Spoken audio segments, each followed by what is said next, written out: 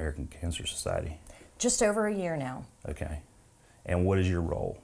I am the program manager for Mission Delivery, and my territory is Metro Atlanta and North Georgia. Okay. All right.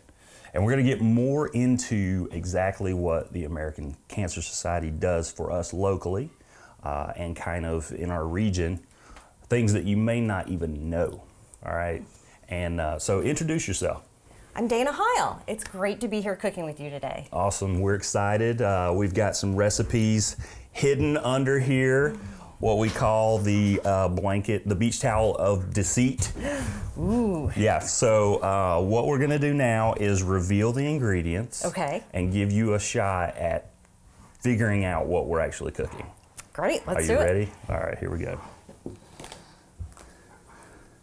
Wow, I see some really healthy stuff here. Yep. Um, oh, asparagus, my favorite. Great. Awesome. Looks like a salad, maybe?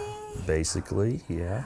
And, ooh, salmon fillet. Great. So, some fish and salad? Yep. Yep. So we've got three different recipes. The first one is, and the dogs are going crazy. They're excited about the recipes as well. You can probably hear them in the They- they like background. they love asparagus. Uh, so we've got brown sugar glazed salmon.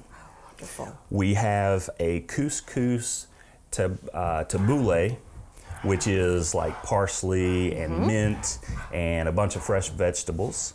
Uh, and then we've got asparagus that's roasted in olive oil and balsamic vinegar. Wow, that sounds wonderful. So hopefully all of these ingredients are, are all healthy. It looks, you know, nice and colorful. That's one of the things they say to do is eat your colors. That's exactly right. Eat the So- rainbow. Right, exactly. So since we're working with the American Cancer Society today, we're going to eat healthy.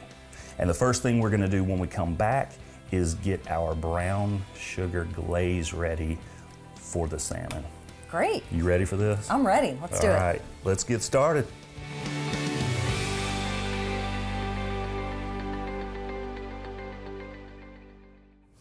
All right, so we're going to start with the salmon. Okay. And to do that, we're going to make the glaze. Okay. The glaze will we'll put everything in here in the saucepan, put it on the stove and let it simmer so that it reduces a little bit, makes it a little thicker.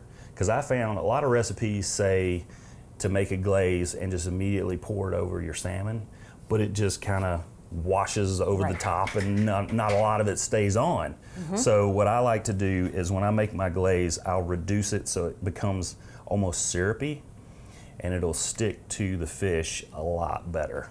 Great. So that adds a lot of flavor. Yeah, exactly. So what we're gonna do is start with two tablespoons of olive oil. So if you'll grab the tablespoon and add a couple of those in there.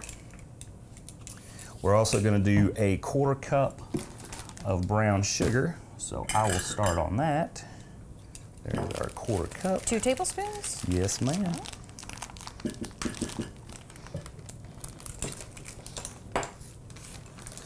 Now there are various uh, versions of, of this glaze. Some of them will throw in some honey. Uh, some of them will actually throw in um, bourbon, and you cook the alcohol out so you're not, you know, getting drunk off of the glaze and eating salmon. Uh, but um, yeah, it, it adds a, a whole nother level of flavor. And what's cool about a glaze is you're using really, really strong ingredients, but you're not, you know, ingesting all of those ingredients. You're just Right. using it for a little bit of flavor. We're gonna add a quarter cup of soy sauce.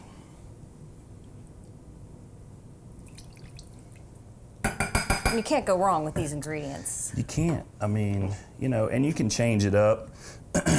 Our actual recipe here, I'm going to put everything in that is on the recipe, and then I'm actually going to add a couple more ingredients that Oh, I have used in the past that I, that have worked well for me. So Well, that's what cooking's about. Exactly. We're experimenting.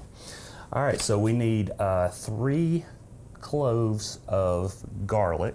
Ah, smart. So exactly, much easier. So a half a teaspoon Mm-hmm. is a clove. So we'll need three half teaspoons. and again, if you like it a little more garlicky. Exactly, just add a little more. That's awesome. And then if you will, we're to cut that and we're to juice one lemon into the, uh, the saucepan. It's to need a little bit of salt.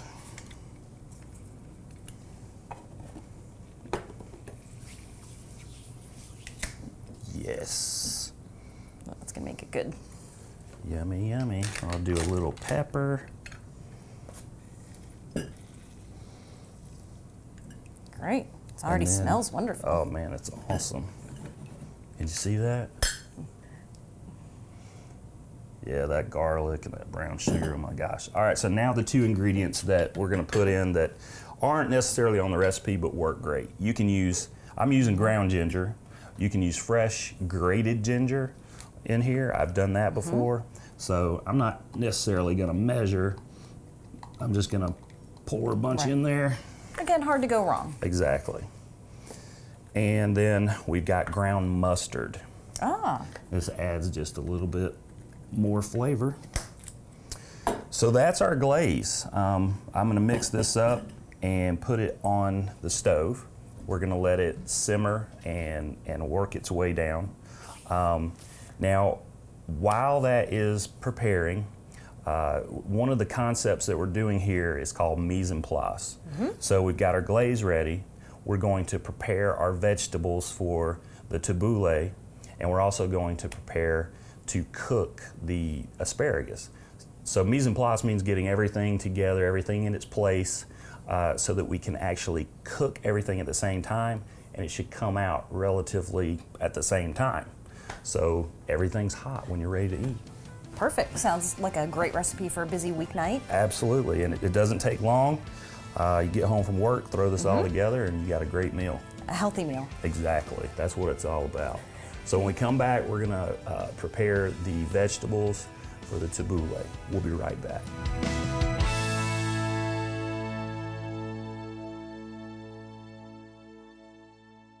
One of my favorite things to do use a knife.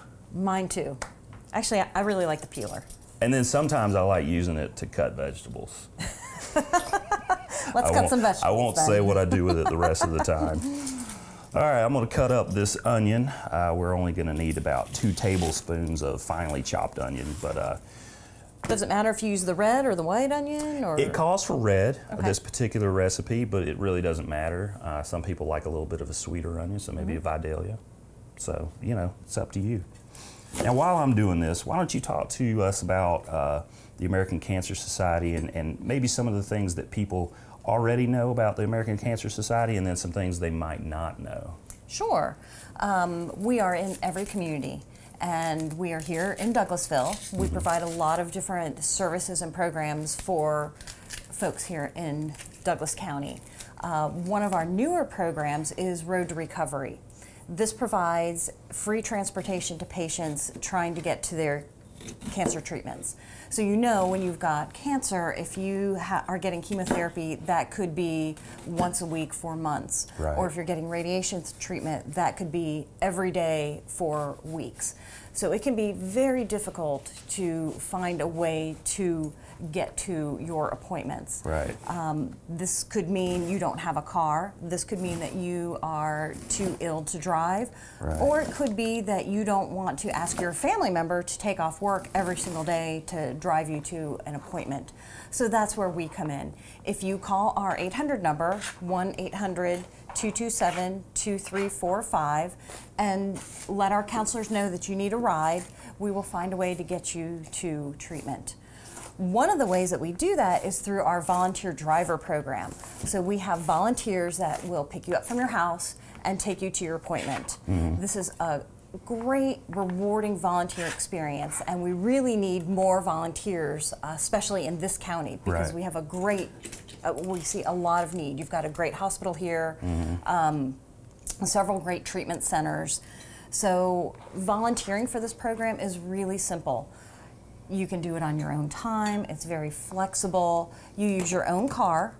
Um, we have a website that you can log in and see what rides are available. Okay. Chances are that somebody from your neighborhood or close to you is looking for a ride. And so we match you up, and it's again a very rewarding experience. our drivers, our volunteer drivers, really become bonded to the patients that they drive. They develop a really special relationship, and it's great for the patients as well. Right. Um, it's you know a, another warm touch Mm-hmm. while they're going through uh, what's really a terrible disease. Right. Um, again, if that's something that people are interested in volunteering, you can call our 800 number or visit our website at cancer.org and sign up uh, to be a volunteer. That's awesome. I, yeah, I'd never heard of that uh, until you had told me about it, and uh, that's that's a I, it's something that I had never even thought about. Sure. You know that people would need rides to their treatments. Transportation is uh, one of the biggest barriers to any healthcare treatment. It's estimated that about 3.6 million appointments are missed every year because people don't have a ri- ride there or a way to get there. So, again, this is a great opportunity for people to become involved with their community by volunteering to drive a cancer patient to treatment. That's awesome. And they can go to the website, like you said, Go and, to the and, uh, sign up. It's a great way to get involved with the local community uh, and help your neighbor, essentially. Very, and very flexible. Um, Uh-huh. We ask that you do two rides a month. So if you have a job where you've got a morning off, or a day off, or an afternoon free, Mm-hmm. you can take a ride. Again, it's maybe an hour commitment. That's awesome. You do. Uh, we do require that you pass a background check, that you have a clean driving record, and that you have a reliable automobile to drive. Mm-hmm. Other than that, if you're between the ages of 18 and 85, You're in. you're in. Now, you guys uh, are a huge organization. Yes. um, and you do tons and tons of different things. Um, some that, that I read about that, that I, I did not know. Um, that takes a lot of money. Yes. How do you guys actually fund your, your programs? We have a lot of different fund fundraising um, opportunities. Relay for Life uh, is big here in Douglas County. yeah. That's a great way to get a team, to raise money, to the event is wonderful. It's a great way to come out and feel the spirit of healing and hope and honoring those who have fought this disease, um, remembering those who have lost. Um, another big event that we've got coming up this month in October Okay. is our um, Making Strides Against Breast Cancer. We've got a 5K walk uh, that's at SunTrust Park. And then in November, we've got a 5K race that will be on KSU's campus at the stadium there. And those are both great ways to raise money that fund not only our programs and services, but also research. We do a tremendous amount of research looking for that cure for cancer. Yeah, and I, I, I know that's probably what most people think about when they hear the name American Cancer Society is the research aspect. Yes. And that's pretty costly, I would imagine. It is, and again, we continue to fund the research that we think will be the next big breakthrough for cancer treatment and eventually a cure. Uh-huh. Now, there are some things that you can do that help prevent cancer, such as eating healthy like this. That's what it's all about. We, we know that about 20% of cancers are lifestyle related. Mm -hmm. So, by eating healthy and maintaining a healthy weight, you're really going a long way to preventing some of those cancers like colon cancer. Right. Now, uh, while you were talking, I did chop up the onion. And it smells Uh, wonderful. Yeah, and we've got all these fresh ingredients. I also chopped up some Italian flat leaf parsley, about two tablespoons. And then the mint that goes in here actually came out of my garden. Wow. I cut it this morning and uh, cut up about two tablespoons. great. So those are the things that I added. Now it's time for you to get to work. Okay, So uh, you want to start with the? Sure. We're going to do half a cucumber. half a cucumber. So we're going to chop it up into bite-sized pieces. And we'll see how your skills are. no pressure. No pressure. well, hopefully, I'll be able to use this peeler. Um, oh, this is a good one. Yeah, I love that thing. And while you're doing that, I'm gonna get the juice of a lemon in there. We've got the juicer.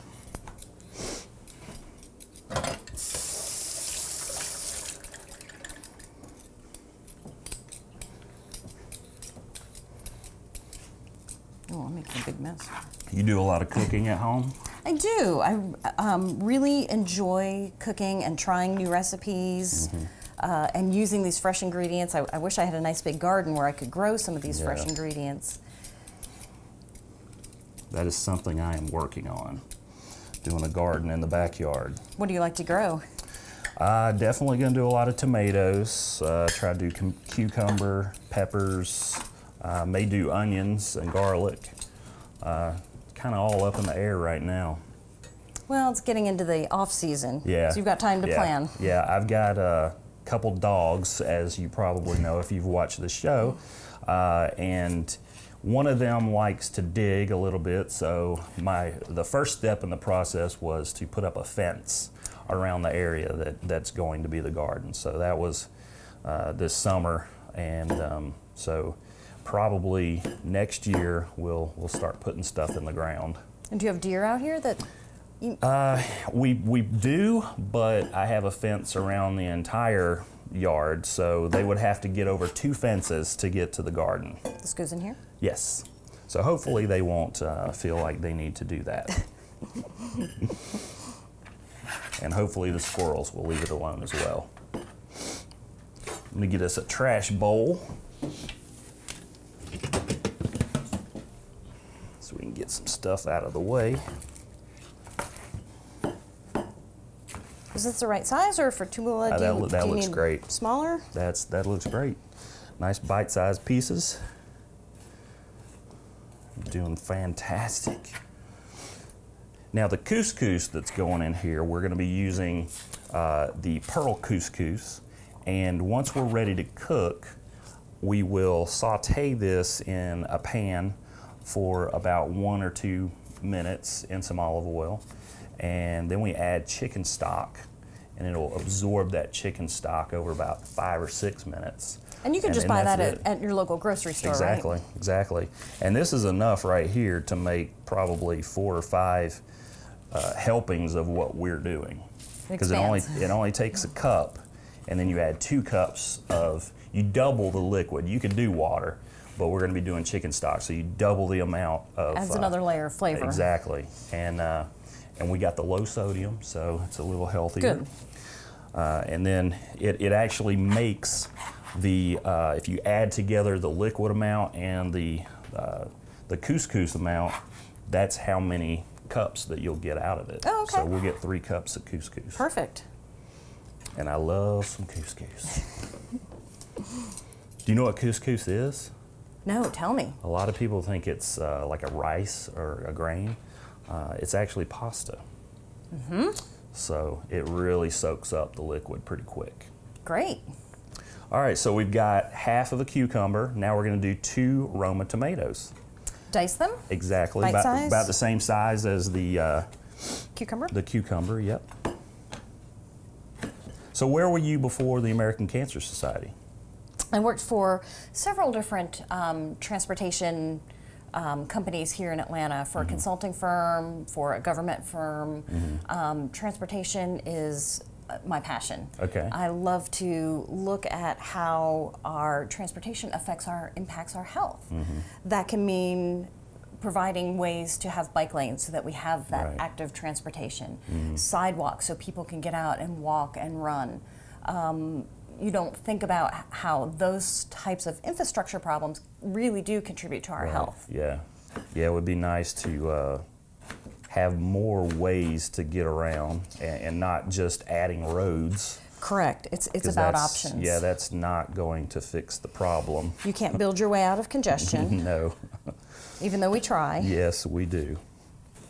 I can tell that you do cooking. you can always tell by the knife skills. And I feel like mine aren't aren't super great. Uh, they're fantastic. This is a nice sharp knife. So Yeah, that always helps. One of the things my dad taught me was that uh, you will you're more likely to cut yourself with a dull knife Absolutely. because you're you're you, you try to push down on it and it winds up slipping off and You sharpen them cut a yourself. finger. Yes. That's a that's an art. Yeah.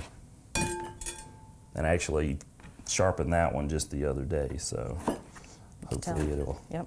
hold up for us. So we're almost done adding all of the ingredients for the tabbouleh. Uh, the other thing that we have to work on is the asparagus. So what we're gonna do is we're gonna cut the ends off. We're gonna put them in a roasting pan, add some olive oil, some balsamic vinegar, salt and pepper, and then they just roast in the oven. It's that easy. It's that easy. Yep. So when we come back, we'll throw together the asparagus and then we'll be able to start cooking everything. We'll glaze the salmon, we will get the couscous ready, and it's all gonna cook at the same time. Terrific. We'll be right back.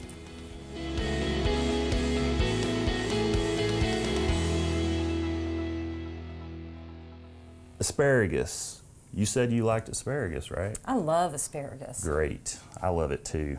It's not that expensive. It's easy to cook. It makes your pee smell funny, but you know, whatever. It's a downside to having something really healthy. You know, but it's worth it. It's so good. All right, so we're gonna snap the ends off here, get this ready,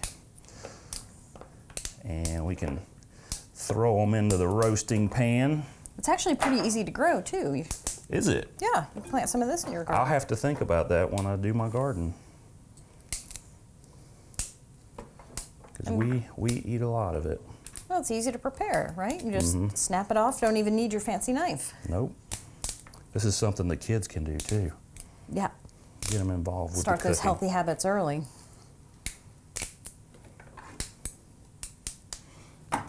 Awesome. Okay, so we're gonna add a little bit of olive oil on there. And then a little balsamic goes a long way, so I'm just gonna do probably the equivalent of half a tablespoon. Uh, and then we're gonna sprinkle some salt in there if you wanna take care of that. And a little bit of pepper. Yes. And I'll do the dirty work. All right. So you just. That's the fun part. Yeah. you just move that around to coat the whole thing and I like to lay it out in a flat layer. That way it cooks evenly. So that is prepared and ready to go. Oh, it was so fast and easy. Easy. I mean, the kids could probably Mm-hmm. do the entire thing. They would like to get their hands. Yeah, exactly. See, that looks great. All right, so that's ready. We can slide that uh, over to that side if you want. The next thing we're gonna do is actually glaze the salmon. I've got it right here behind us. And the glaze is just finishing up. And before we use the glaze, we're gonna salt and pepper the, uh, the salmon. And you do skin side up. Well, I'll tell you, I learned something the other day.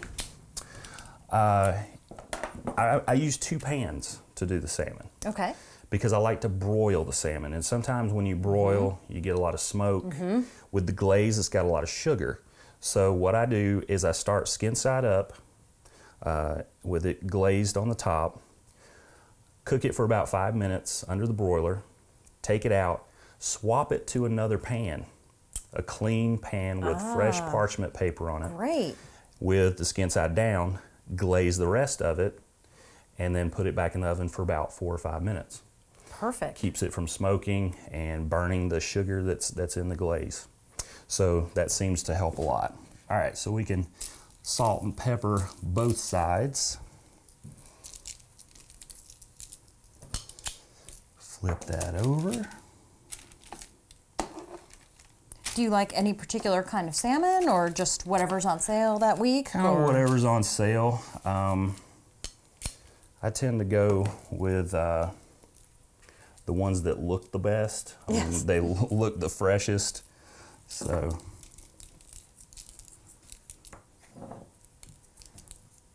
There we go. Now I'm going to turn it back over. And we can glaze these.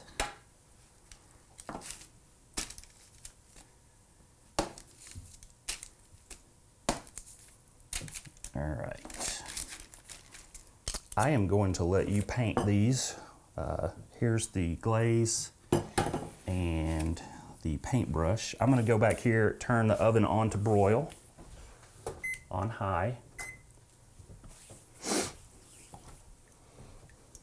Ooh, that looks great. Look at all that good garlic. Yeah. So what's going to happen is we will put this in the oven under the broiler. Underneath the salmon, we're going to put the asparagus. So the asparagus is not getting that direct heat from the broiler. It's going to bake. Uh, the salmon will cook about 10 minutes. The, uh, the asparagus will take a little bit longer than that. And while we're doing all that, on top of the stove, we're going to prepare our couscous. Great. And everything should come out at about the same time. We'll add the couscous to our lovely vegetables, and then we'll be ready to eat. Terrific. All right.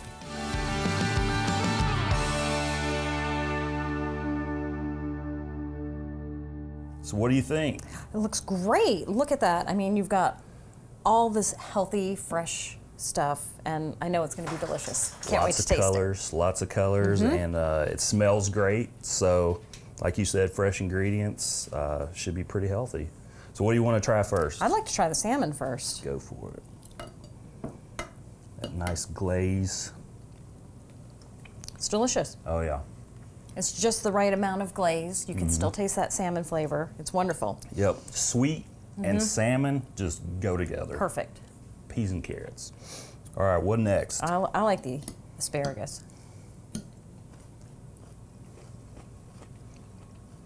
Again, perfect. Yep. Perfectly cooked, crisp, tender. It's wonderful. a uh, subtle taste of the salt, pepper, oil, Mm-hmm. and balsamic vinegar. And last but not least,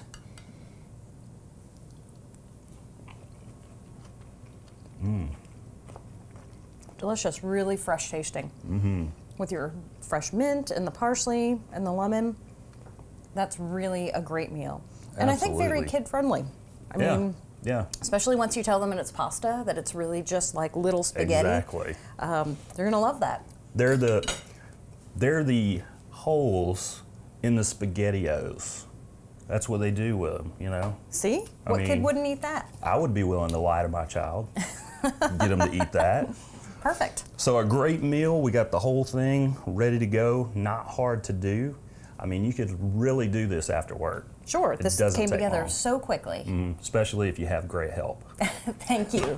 Thank you so much for being on the show. And for our viewers, if uh, they want to get in touch with the American Cancer Society or get any more information, where can they. Sure. go? They can go to our website, cancer.org, call our 800 number, 800 227 2345, Okay. and that will get you connected to volunteer opportunities. Again, we would love to have some volunteers for our Road to Recovery program.